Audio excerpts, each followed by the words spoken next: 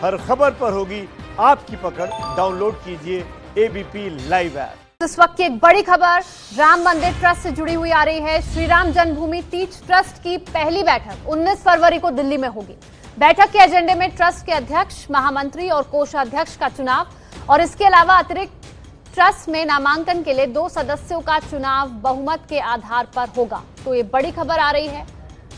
राम मंदिर ट्रस्ट से जुड़ी हुई हम सीधा रुक करते हैं। मेरे सहयोगी विकास भदौरिया जुड़ गए हैं ज़्यादा जानकारी के साथ। विकास तो अब ये साफ़ हो गया है कि 19 फरवरी को ट्रस्ट की पहली बैठक होगी। क्या मंदिर निर्माण की तारीख का भी ऐलान हो सकता है? या देखिए बिल्कुल ये ट्रस्ट की बैठक होगी और बैठक का एजेंडा भी एबीपी न्यूज़ के पास है। एक्सक्लूसिव जानकारी है कि इस बैठक में न केवल ट्रस्ट के अध्यक्ष का चुनाव होगा महामंत्री और कोषाध्यक्ष का भी चुनाव होगा। इसके अतिरिक्त दो जो प्रसिद्ध मशहूर सदस्य होंगे आ, उनका निर्वाचन होगा। माना ये जा रहा है कि इसमें नित्य गोपाल दास और विश्व हिंदू परिषद की चंपत राय को आ, इसके लिए चुना जा सकता है। आ, बैठक के एजेंडे में इसके अतिरिक्त दो महत्वपूर्ण चीज़ें और हैं। पहला कि राम मंदिर निर्माण के लिए तारीख पर चर्चा हो सकती है और उसका भी आ, फैसला हो सकता है कि कब से राम मंदिर निर्माण की प्रक्रिया को शुरू कर दिया जाए या शिलान्यास को शुरू किया जाए।